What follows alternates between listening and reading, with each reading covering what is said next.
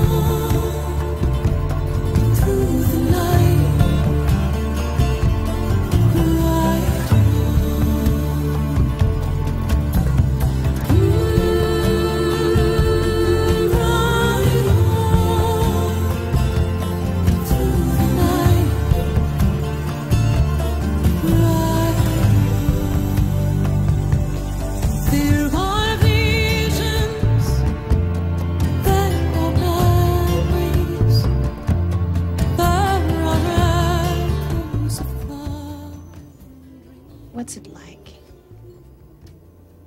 What's it like being a soldier? What do you think about? You must think about something.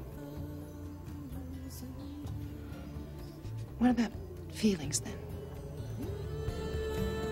You must feel something.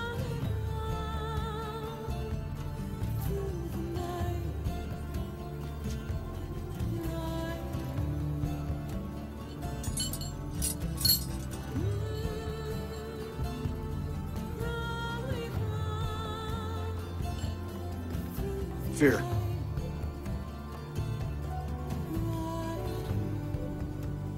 Fear. Fear and discipline.